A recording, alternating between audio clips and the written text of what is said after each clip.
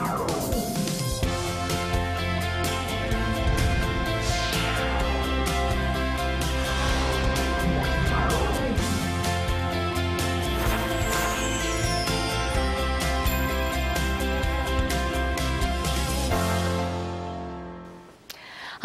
欢迎收看《生活快一通》。大家好，我是玉琴哦。那现代人其实真的因为压力很大，那也有些人呢是因为所谓的天生基因或者是家族的遗传哦。呃，我们要讨论的这个话题是什么呢？我相信有很多的男性朋友都在讲说，十个秃子九个富。偏偏我就是那不富的那一个，所以其实掉发的问题呢，不是只有男性的专利哦。其实除了雄性秃以外呢，其实很多的女性朋友中年过后，你会发现哦，她的头皮感觉好像越来越明显，也就是说，她的发际线开始往上了，她掉发的问题开始变多了。到底这个我们要如何的来应付我们的顶上的这一头非常重要的？呃，门面呢？哈，那等一下我们会请到一位专家来节目当中跟大家聊一聊，如何真的让自己的头发变得更健康。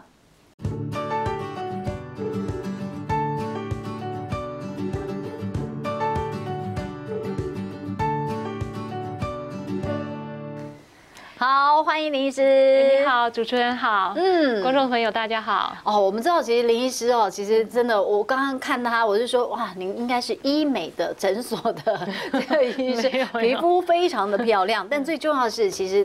您其实现在比较专职在所谓的执法的医学，是哦，这是我们比较少听到的，或者是说，应该说很多人可能在想说，执法不是就是一般的所谓的美容吗？外科吗？可是其实不然哦，它其实是另外一个非常专门的医学，对不对？嗯，对，因为我们现在提到执法，哈，执法是现在，嗯。有还有一点点概念，可能是因为很多的医美的医生，他会就是兼着做一些植发。嗯，那要不然植发在以前可以说是一个秘 秘密产业，对，很少人在做的。一方面是很多人不承认自己有掉发的问题。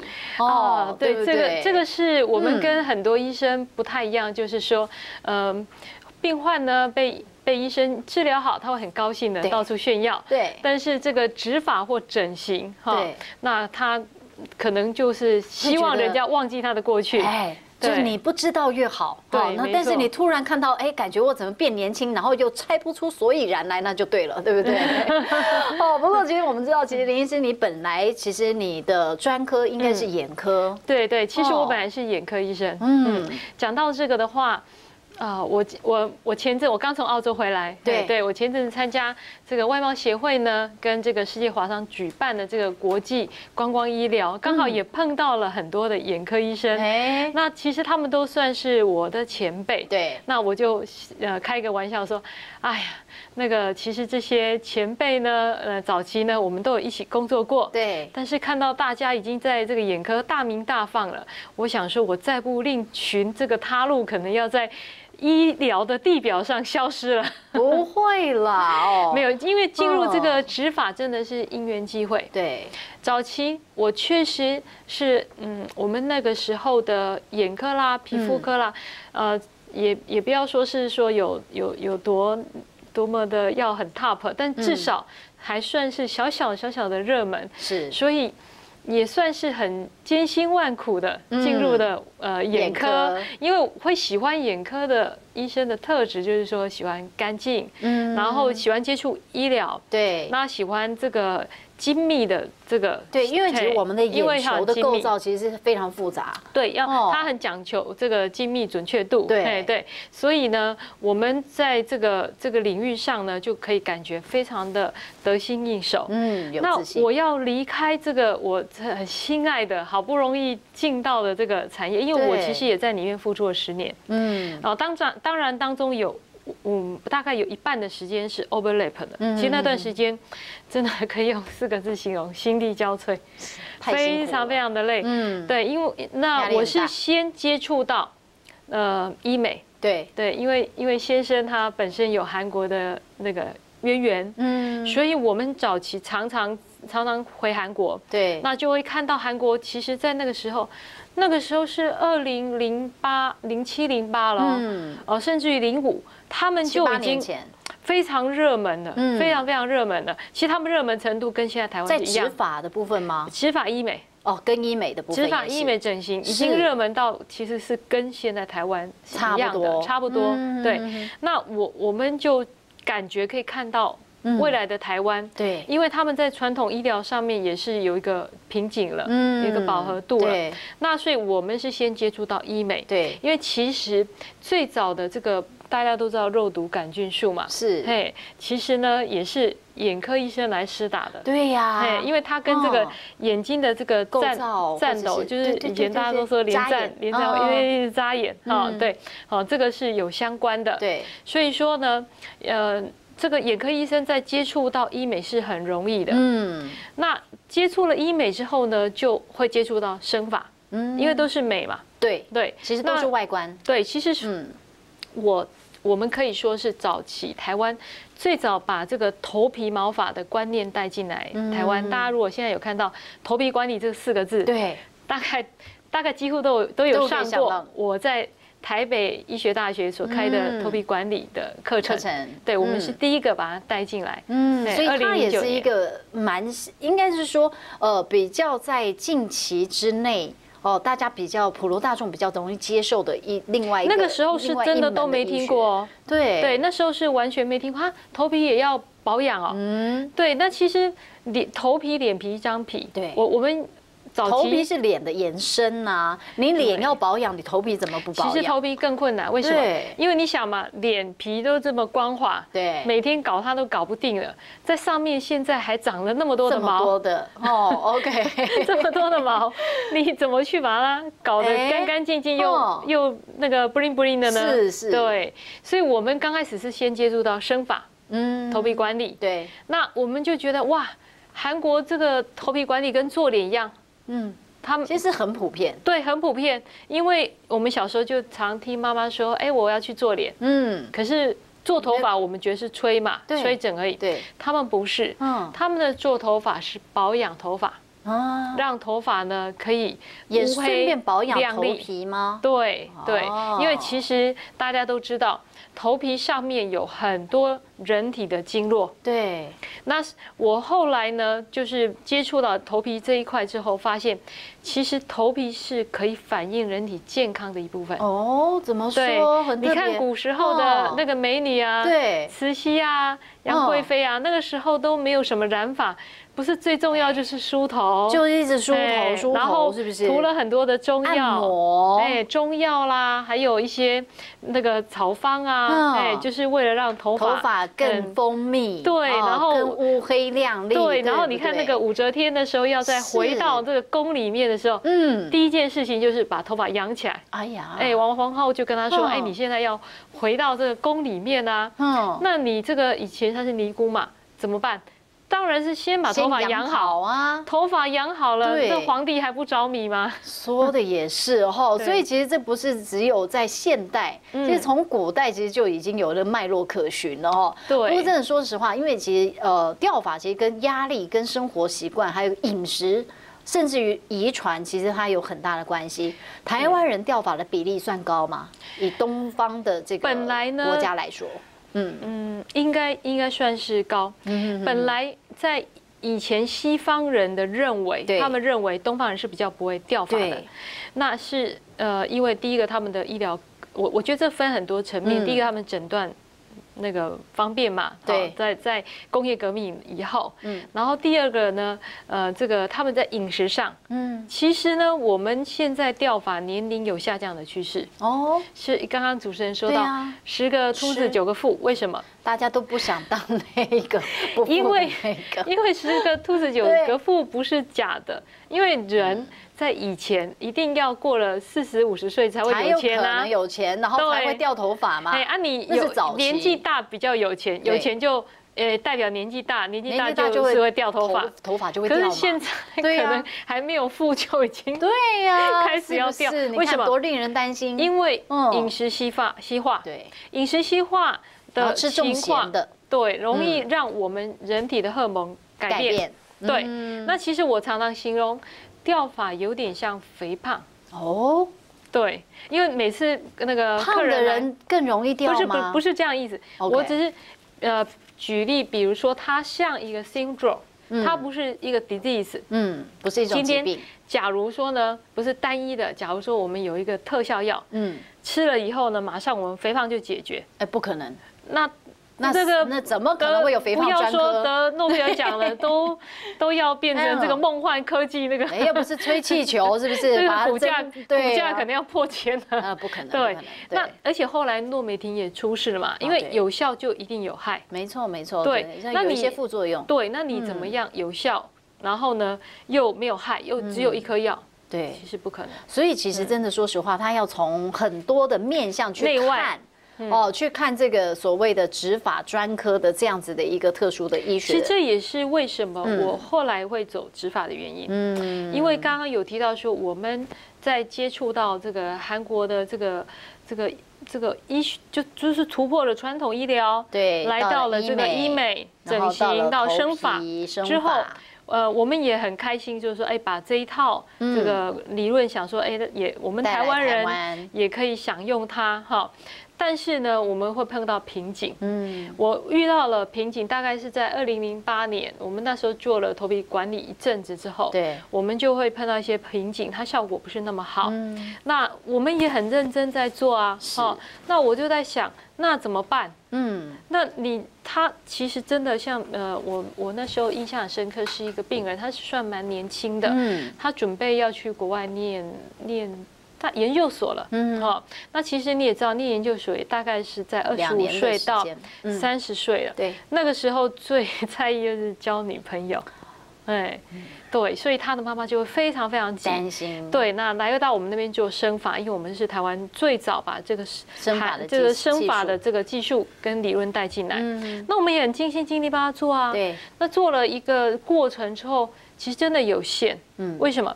因为微缩的这个被 DHT 攻击的微缩的毛囊，它就真的已经慢慢慢慢的细毛化，它哦长出来的就是还是对，就是细毛。小细毛，对对，我们的小细毛就是定义在三十 micron，嗯，那我们的正常头发是在嗯六十到一百一百，等于说它是一个小草，它没有办法长成大树，对，然后接下来它就不会再长。所以好，我们先暂时跟林医师聊到这边，先暂时休息一下。等一下，我们再来听听看哦，到底当时碰到了什么样的在呃这个部分这个医学领域当中碰到什么样的一个瓶颈？等一下再回到现场。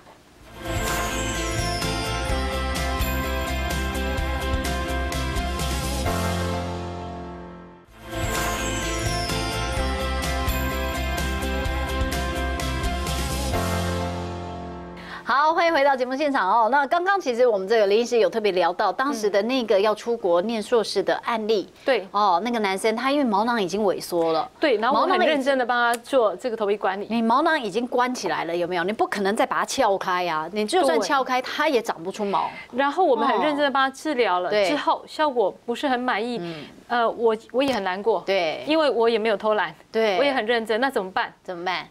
呃，怎么办？据这个各位专家哈，然后因为因为那时候我也结交了很多很好的韩国医生朋友，真的只能执法。对，所以他激发了我，就是说我们还是要，因为我们不是商人，我们是医生，我们的问题是我们就是要解决客人的问题、病人的问题。他的问题我如果不能够解决，对，那一切都是。白费。是，那为了要解决他的问题，而且我也认为说不是他而已，嗯，我相信很多人都有那如果我终究让我的客户，那想要落法的这些病人客户，好，或者是稍微的，哈，他只是想要再茂盛一点，嗯，好，能不能够呢达到他心里的这个梦想的话呢，那我会很。失望，因为我我的个性就是说，很希望我的客人能够很 happy 的走出去。对，说到这个为什么要学执法，还有执法学习的过程是这样。最早期的这个执法，嗯，好，那个一九五九年，嗯，目前声称第一个执法之父，嗯，其实呢，待会讲一点小小故事，在他更早之前，其实日本的医生就在做。哦，那一九五九年呢，哈，那个 Norman 哦 Orange Orange，然后他。开始就是把一块有毛发的皮对。种到没有一直在没有毛发的皮上面，对，那客人就很高兴了，是不是？啊，比如说我们把这个有有毛发的皮往上。种在这里，OK，哎，这边有头发，嗯，哇，那病人真的是非常非常非常高兴。对，可是你要想，那是以前，嗯，现在的人他怎么可能可以接受这边一撮，这边一搓，那我这边不就对？我又不是在种萝卜，都不是不是，那个那个种下来真的是很像，那个就不好看呢。对，形容洋娃娃的头发，美感，对对？那那我去参，那二二零零九年呢，我们我去参加这个国际执法医学会，嗯，也看到了就是国际之间怎么来做这个执法，那一次对我很震撼，是。很震撼的原因就是说，哇，原来。这个世界上呢，有这么这么多的医生，嗯，好，他们已经在从事做这个执法了，嗯而且我也很震撼，说啊，其实世界上需要执法的的这个人很多，其实还是有的。是。那另外一个我很震撼的是，东西方其实做法应该要不同。嗯，对，这个是我开始我很艰辛的这个执法的路程。是。对，早期他们就是我们说的，一撮一撮一撮的，一个块一块皮。不是一撮而已哦，一块皮，一块皮，种了一块皮，一块皮，种了一块皮。等一下，那那它那个本来有毛的地方不就变圆形秃了吗？没有把它缝起来，就缝起来。对，OK。但那这个时候呢，这个这个后面有疤痕不讲，嗯，前面还不自然。对呀，对。那呃那时候呢，呃在韩国这边呢，他们其实其实韩国执法算是。在这一这一波是领先的，那一天要掉多少根头发，其实叫做正常的。嗯，其实是这样子，呃，头发跟我们的指甲，跟我们的皮肤都一样，它就是每天新陈代谢，嗯，还会有旧的掉落，会有新的长出来。每一天我们其实正常的代谢是一百根，其实是正常的。对对，以这样看，因为为什么？因为我们的呃，我们有休止期、嗯，退化期、生长期，对。那我们这个休止期呢？好，个这个跟退化期占的这这个三趴到十趴中间，所以我们每天要落的头发是在一百根上下。那我们刚刚常常在讲，就是说男性脱发的原因哦，其实真的也有可能是因为家族的遗传 哦，然后再来就是大部分脱发的状况其实是男性多于女性。但因为现在就像我们讲的，其实你你们家有没有养宠物？你给宠物吃太咸的东西，它也会掉毛啊，对不对？其实真的就跟食就是我们的饮食习惯，这个就我刚刚说的落发跟肥胖很像。对。它跟它是多原因的，跟基因有关。那我们就回到这个地方，我们来给大家大概看一下下哈。那么观众朋友，你也可以稍微检视一下，就是说自己到底现在目前的头发的丰厚的程度，这个有分第几期？这是什么样的一个状况？这是正常的。这是 Norman 呢，他在这个就是面就是多年的这个行医呢，还有我们这个后来的这执法医生呢，对，好弄出来的一个。大约是在七期左右，好，第一期、第二期、第三期呢，其实都还算是正常，但是进入了第三期了以后，对，就开始要小心哦，可能会有顶上这个地方，我相信有很多人其实男性朋友就是看这里。发际线，不，两边两边。M，对对，这个地方。两边的 M，嘿，如果后退在正常的两公分以后，对。你可能就要小心，对，然后再来就是中顶，中顶的部分，然后再来可能真的越来越明显了，到最后可能我们可以看到冲冲冲，有没有？对啊，就就就这个很好，这个对这个很很好记的，就是第六期就中间都没有了，嗯，对，OK，对，那很多人可能在想说，哎呀，这样子再直的话，可能真的。呃，那个范围其实能不能直？那大部分其实像这样子，应该都是做法片比较多。呃，不尽然。现在我们有看到一个 tricky 的地方，是不是？是不是后面都还有？对对。所以这个时候呢，我刚刚不是说我们的头发大概有十万到十二吗？对。那东方人十五万的是很少。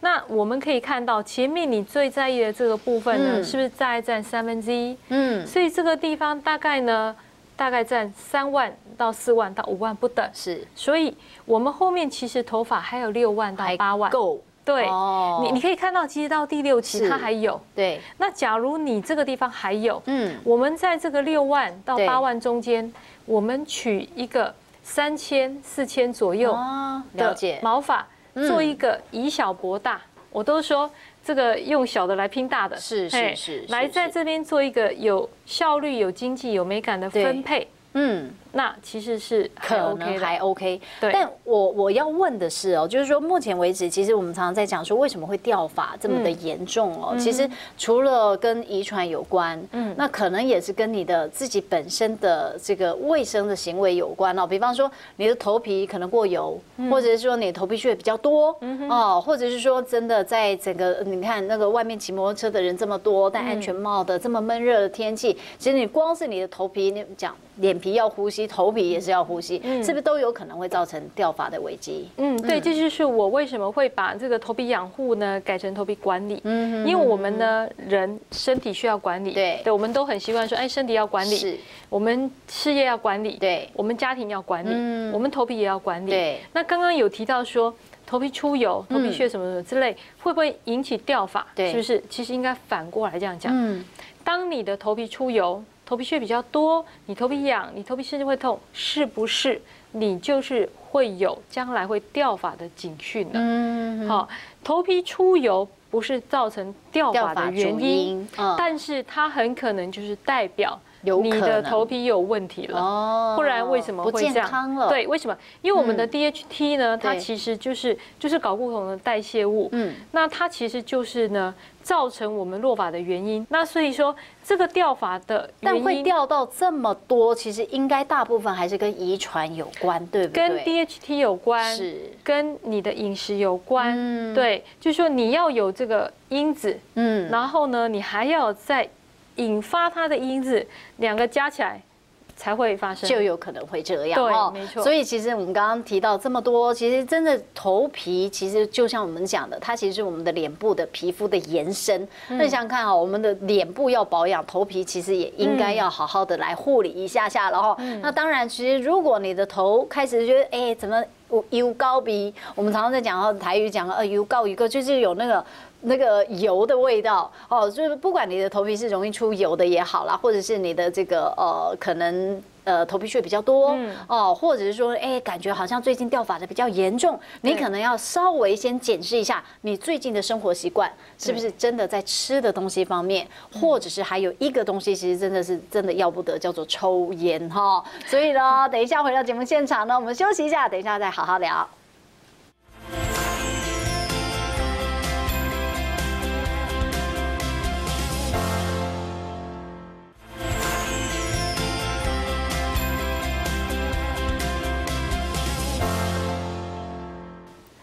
好，这个我们的顶上的三千烦恼丝，其实不止三千，是十万，十万以上的烦恼丝。其实说实话哦，这个顶上无毛，你会不会觉得说整个人就看起来比较苍老？然后比较没有自信，尤其是男性朋友哦，明明这个五官长得很漂亮，可是真的，我们举个例子来说，在西方就像是这个英国皇室的那位王子了。但其实真的，说实话，我们也曾经看过有一些女性朋友，尤其是在比较中年过后哦，就是呃年纪稍长的一些比较熟龄的哈，你会发现其实她的发际线这个地方，其实你会发现，哎，发际线感觉越来越开了，哦，摩西 感觉那个海要分开？有没有？就会觉得这个地方，其实女生朋友比较容易发生的，其实是这一块，对不对？女孩子的这个落法呢，跟男生不太一样。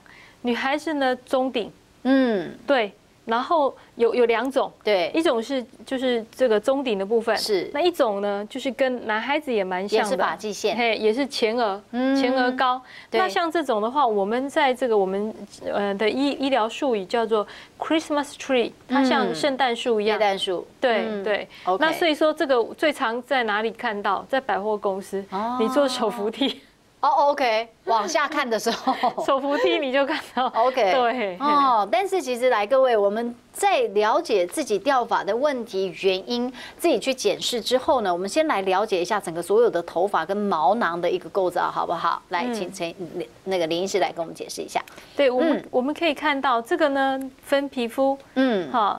皮肤上、皮肤下，对，皮肤上呢，就是我们现在看到的毛干，对，你看到的头发，嗯，那其实这个头发呢，它是从我们的这个毛乳头，对，就是毛囊的呢根本，其实这样讲好了，这里有干细胞，嗯，那这个干细胞它是源源不断的，嗯，我们的毛发为什么会掉了再长，掉了再长？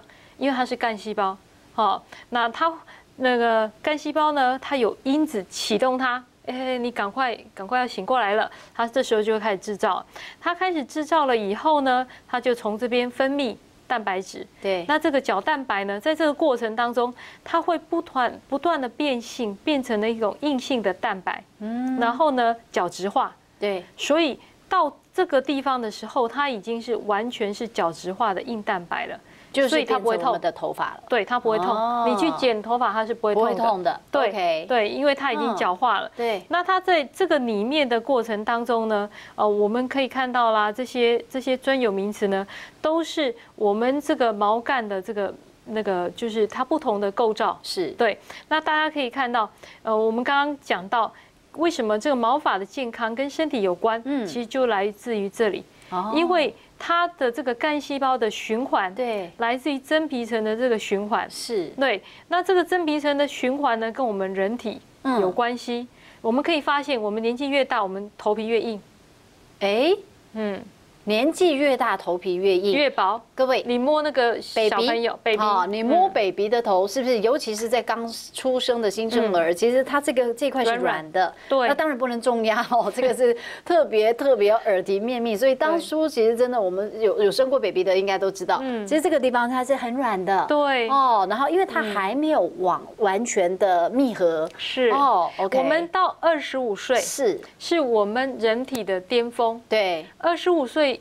的时候呢，你都还是很 perfect。嗯，那二十五岁以后就开始有点走下坡了。嗯，你的头皮会越来越薄，对，会越来越硬，是，你的循环越来越差，是。所以说呢，你的干细胞它的活动力就下降。嗯，对。药物就是台湾人因为服用成药的比例其实很高，药物是不是也有可能会药物有可能经由。这个就是我们这个血液循环，嗯，来到这边会去干扰到我们的这个干细胞。OK，对，比如很多的药物啊，哈，那个抗癌药啊，甲状腺啊，哦，或者是一些高血压等等。但是，但是不是这样讲？所有的药物啦。我第一说不是这样讲，你就不要去服用那个药，因为这样子很危险。嗯，对你还是跟医生讨论。对，对你该服用，你还是要服用。没错，只是说你可能有别的帮。帮那个方法可以来辅助它，对，因为它可能经由这个循环，因为这个循环跟我们人体是连连带的，是来影响到它。那刚刚提到的这个油脂跟这个皮屑，它会在呢我们这个毛孔的这个地方，对，可能它会。嗯，要可能有一些堆积俗语俗语叫堵塞，是哦，医学用语可能会影响到它的哦生长的对它的它的呃含氧量，嗯，哎，对，了解。对，那现在其实有没有哪一些方法，它其实是可以来面对这种所谓的雄性秃？嗯，方法现在呢分蛮多种的，除了植发以外，对，就是说你还没有到那个程度的时候，其实我们可以看这个构造。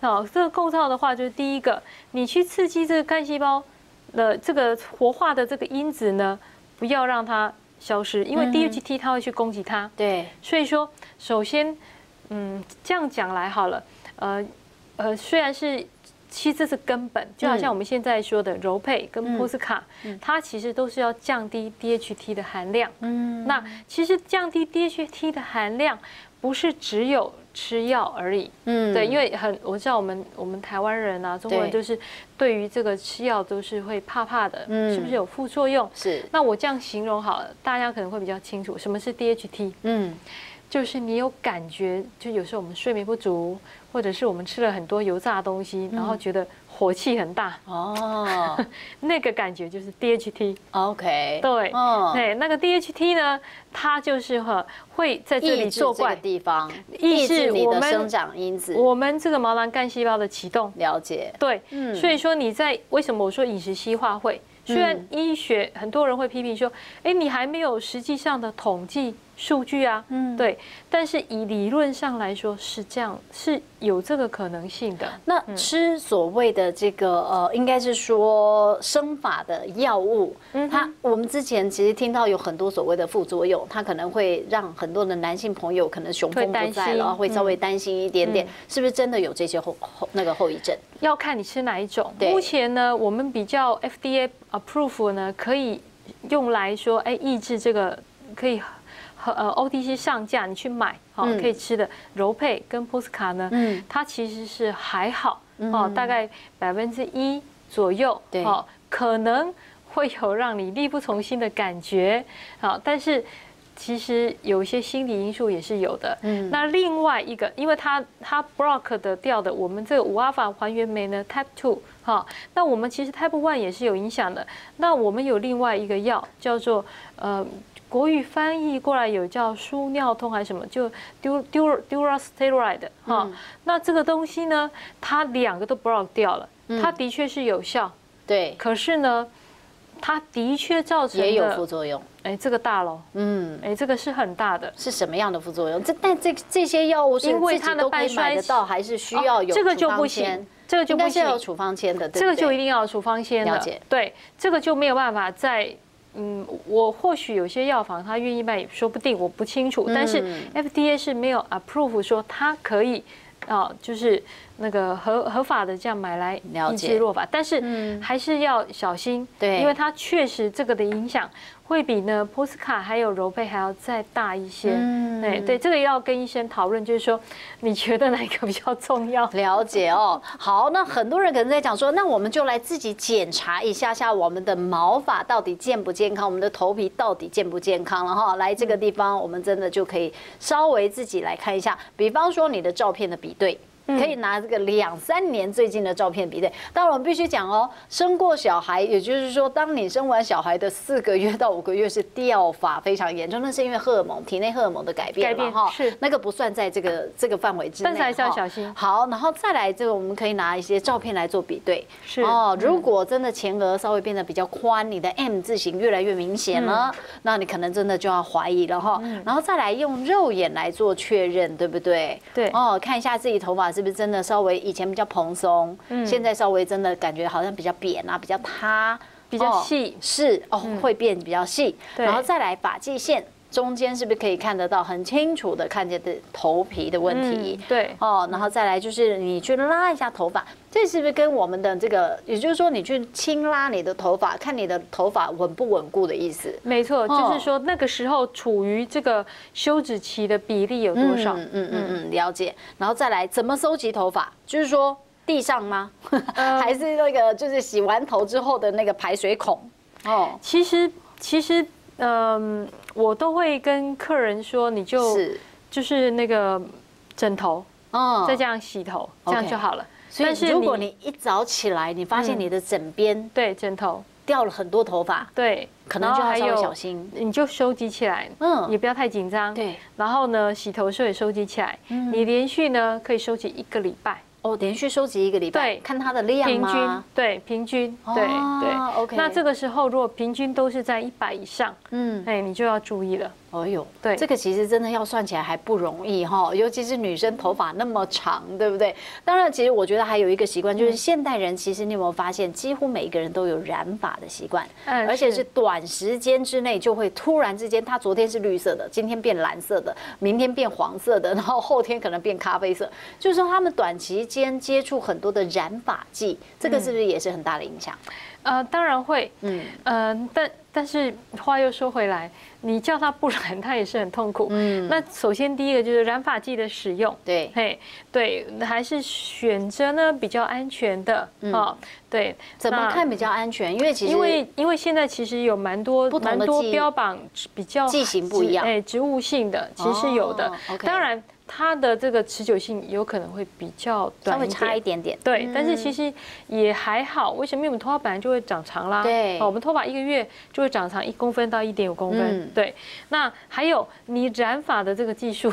OK，对你不要一直往这个头皮上刷，有没有？你隔个零点二公分或零点三公分，不要太直接接触头皮，尤其是当你的头皮不健康的时候，有伤口的时候，因为很多人有那个什么皮脂呃什么什么漏，嗯，那个那个就是脂肉性皮肤炎，它可能就会在你的毛囊这个地方会受伤。对，那你又在受伤的时候去染发，那真的就是火上加油的感觉。对，那还有另外一个就是说。比较积极的做法，你染发完之后三天或是一个礼拜，对，你可以去去做一个头皮养护。哦，对，就是说，呃，你你经过你调查比较值得信任的，对，哎，去保养一下，是。对，不要让那些化学物质残留在你的头皮对，太深入到你的这个头皮。了解，好，那么当然我们先暂时聊到这里，等一下就回到节目现场再来聊一聊。很多人可能在讲说，哎，对呀，讲什么养发的方法啦，然后或者是我真的也寻求了头皮的养护啦，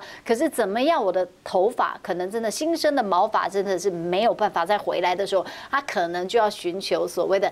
移植就是我们的植发的部分了，到底什么人适合呢？等一下回到节目现场再继续聊。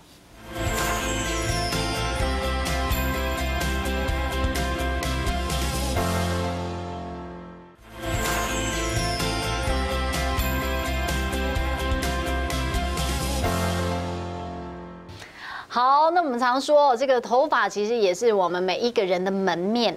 当你的头发比较丰厚的时候，其实你整个人看起来是笑脸的哈。然后，但是你会发现，当你头发感觉比较少、比较稀疏，你整个人看起来气色就真的显得老了好几岁。那么接着下来，我们就来看一下下哈，就正常的头皮在放大镜下面，它是呈现什么样的状况？如果你的头皮是出现一些问题的话，它又是什么样的一个状况呢？我们请我们的林医师来聊一下。这是。正常的头发，对，嗯，呃，就是当然这还要看哪一个部位。那我们假设它是在一般的部位，嗯哼，哦，正常的话呢，大大概是一个毛囊大概有三根，哎，不一定，不一定，我们有一根、两根、三根。OK，那这边我要特别说到，我们东方人的头发，嗯，一个单位呢，两根一根的比较多。OK，西方人两根、三根、四根、五根的很多，因为他们的毛比较细。对，哦，我们的头发是比较粗的，那么的多。OK，那我们可以看到正常跟粗细掉发的差别在哪里？是不是？密度变变宽松了哦，这个地方空白越来越多了，对，然后是不是变细了？对，头发变细了。然后呢，这边来看，是不是只剩一根的？哎呦，对，这就是可以看出，第一，它的密度变低；对，第二，它的呢这个直径，哈，就是说变得窄。对，可能这个地方只剩下。三十到四十 micron 也说不定了哈，那这个时候呢，他就会去看到头皮了。OK，对，好，然后接着下来，很多人可能在讲说，哎，安娜，我应该要怎么样来分辨自己到底属于？有我们常说，你的皮肤是混合性的，还是油性的，还是干性的？其实毛发、头皮也是一样的哈。接下来这个是油性的毛孔，对不对？嗯，刚刚没有提到。对，因为我们的这个毛囊呢是带有这个皮脂腺的，对，所以它同时也会分泌这个油脂。对，那它分泌油脂到这个地方，对不对？到这个地方之后，假如呢它的新陈代谢不正常，它过度的分泌，嗯，它就会呢产生很多的。过多的油脂在这里，这是正常的，对不对？对它，你可以看到它是非常的光亮，对对，而且这个毛孔呢是还有一个凹度，是。对，而且发干非常非常的粗，对，哎，这个大约是在一百二十到一百五十倍之下看起来会是这样，但这个然后这个你可以看到它油脂分泌，哦，好油，就是我们的这个毛囊带的这个皮脂腺可能活动旺盛，是，但是它又没有办法经由正常的这个新陈代谢把它排出，然后再加上我们的这个。这个皮屑，它不正常的这个增生，对增生，对，那这个时候呢，跟我们的油脂卡在一起，是。对，那是不是很像紧箍咒？感觉又油又干，然后真的又不知道怎么办才好。就像紧箍咒呢，扣住了你这个毛毛孔，是，对，那这个时候。会让我们的这个毛囊的这个循环，嗯，然后含氧量，对，还有呢，它的这个就是我们毛干的生长的这个速度呢，也会受到影响。了解，对。那很多人可能在讲说，那既然哦，我头皮真的我也养护过了，然后头发其实我也特别这个注意一下，然后生活作息我也都注意了，可是就是因为掉发已经掉了一段时间，或者我可能有家族这样子的一个遗传，它难免在自信心上面可能会稍微比较的。呃，这个没有自信，缺乏自信，他可能就寻求另外一种管道哦，那就是所谓的植发了。目前在台湾这个执法的比例，在人口上面大概有没有年龄层上面的一个比例是可以来提供分享的？嗯，目前呃，其实啦，以前教科书上写说呢，执法一般是要在三十五岁以上才合适，是啊，为什么？要比较稳定，嗯啊，那其实现在是有年龄下降的趋势，对，为什么？嗯，因为这个问题是呃很尴尬，嗯。哦，因为现在的人晚婚，对。哦，然后再加上现在的人呢，这个就是呃，除了说上网之外，就希望出来就是给人家一个很正面的、很很亮丽的这个外表。其实刚刚有提到没有头发的感觉，其实有一点像树木掉了叶子一样，没安全感。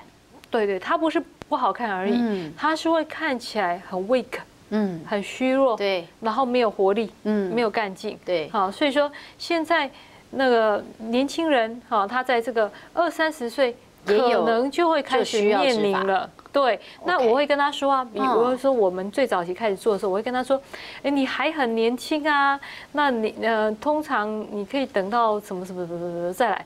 他第一句话就告诉我，要我等到那时候，我不如去死算了，我也不要纸了。感觉这个掉发的问题，好像对很多人的自信心是打击非常的深。对，尤其是现在现在的年轻人，他不可能，你跟他说。啊，没有关系啊，没有关系啊，你就等到接受年轻人再来做。你说五十岁没头发，我们可能还真的心里反正就已经有了心理的准备。他现在已经很不舒服了，你还在跟他讲说你等五十岁，那算了。对，那他他，但是这时候有有一点就是我们比较，那你们怎么评估他可不可以做？我会问很多问题，是神主从发来都会都会聊到。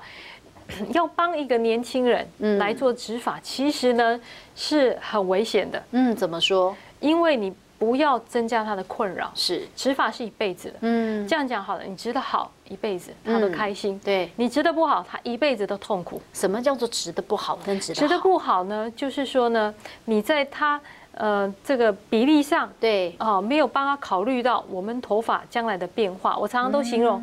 我们的头发是往后退的，对。如果我们的直发是往前的，对，那这就像马拉松，永远永远永远就是有一块永远就是吃不完的。哦，对，这个你你你你现在呢？他的做法是往后，是你现在指法，因为他们都会跟你说啊，医生，我想要低，越低越好，越低越好，越低越好。嗯，好，你就照他的意思好。是，那你们中间呢？他又往后。因为它后面这边会掉啊，对，所以就中中间变成你戴发哭了，有没有？对，我 我就跟他说，中间就一块出来。我们现在这样子就像马拉松，永远也跑不完。而且植发跟整形有一个不太一样。我刚刚呢，虽然有提到说呢，就是我们这个这个后面，对，我们我们植法呢，最主要的就是靠这个后面的这个。啊，比较永久、比较健康、永久的地方往前直。对，那比较健康、永久的地方不是无限的，嗯，它是有限的，它也可能会掉发，也也也，呃，第一个它。也可能会稍微掉发是一回事，另外一回事，它的面积有限哦，你不能永无止境的拿，是是不呃，只大家可能有听过像 Michael Jackson 啊，那个整形的几十次啦，甚至上百次都有，植发不行，是。植发绝对不可以这样子，为什么？因为它资源有限，你不能滥用它的资源。那大概如果说他们真的做完了所谓的植发手术，它大概多久之后它会长新生的头发？我们做完是这样子，因为我们做的这个是比较不是像传统说西式的要把它剪短，对，然后把它塞进去看起来短短的，我们直接是植的是有一定长度的，对，所以说基本上它植完就很自然，就是很自然。但是我们植进去的头发有一部分它会快速的进入。短暂性的这个休止期，嗯，所以有一部分的头发它可能在两个礼拜也可能会掉，对。但是不是同时？嗯，哎，我我们不是动物，嗯，动物的毛是同时掉，对，我们人类是不会的，嗯，哎，我们是不同时间，是。对，所以在这个植完法的一个月到三个月的中间，嗯，它会开始有些掉，嗯，对，当然也有一些不掉，直接进入生长期的哦，是，对，所以这个时候看起来是有一点点小小尴尬，嗯，啊，就是没有像我们刚好植完。对，那么美丽，但是不要担心，是到了第四个月以后，嗯，掉的呢就少，长的就多。哦，OK。到了六个月以后呢，就比较 balance，就完全也没有到完全，这时候大概比一半还要好一些些。到了八个月的时候，大概八成。嗯，那到了一年，嗯，可以说快要毕业了。是，那有的运气好的，它可以长到一年半。嗯，哎，对。好，那么当然很多人在讲说，那在执法之前，最重要其实真的就平常日常生活当中的一些重要的生活作息，怎么样来养护？我们请林医师来提供给大家。嗯，对，因为我常常认为呢，其实头发就是身体健康的警讯。对，身体健康，头发才会健康。嗯，那平常呢，我通常都会呃跟我的客人说，呃，食就吃方面呢，尽量吃。自然的食物，上帝给的就是一定是自然的啊。我非常非常的推崇就是吃糙米饭，是对，因为糙米饭呢比较 有这个。这个纤维质，因为现在人哦是讲究的食物太过精致了，白米叫做精米，对不对？其实是它是精致过的。那白糖精这个也是真的，也是精致过的。尽量能够吃食物的原型哈，那不要去吃食品，因为食品添加的过程太复杂了，很多要加防腐剂啦，要加人工色素啦，看起来卖相好，但它已经失去食物原型它给我们的一些营养条件了，对不对？然后另外呢，坊间可能会有相当多的一些生发液啊。或者是生发水或什么之类的，对。那其实我是觉得，如果不嫌麻烦，嗯，好，因为说真的，价格也不菲，是。那其实 可以跟医生咨询的时候，嗯，哦，请教医师，哈，因为其实最重要还是里面的成分，医生帮你看一下，每一个人都可以用，对，医生帮你看一下那成分是 OK，嗯。那另外呢，就是我们平常可以做一些。跟这个头皮的循环有关的这个头皮操运动，对，那因为今天时间可能来不及，那我在我的第三本书《头皮操》里面会有介绍几个对我们这个头皮、肩颈哈这个放松是。哎对有帮助的，OK，这个几个简单的运动，每天做。就是其实这个真的就是一种舒压了哦。现在人其实真的压力过大，当你压力过大的时候，头发是也会掉的哦。一定的哦。所以呢，这个提供给大家做一个参考。那么养护头发，其实真的还有包含我们的头皮的管理哦。那当然除了寻求正确的管道，还有正确的姿势跟书籍以外呢，当然也希望大家都能够头发非常的丰厚，非常的茂密，看起来都是笑脸的。今天非常谢谢我们美丽的林医师在节目当中，谢谢你，主持人。好，也希望所有的观众朋友真的都能够准时收看我们的生活快一通，因为每一集节目当中都提供给大家很多的健康资讯。我们下次同一时间再会喽，拜拜。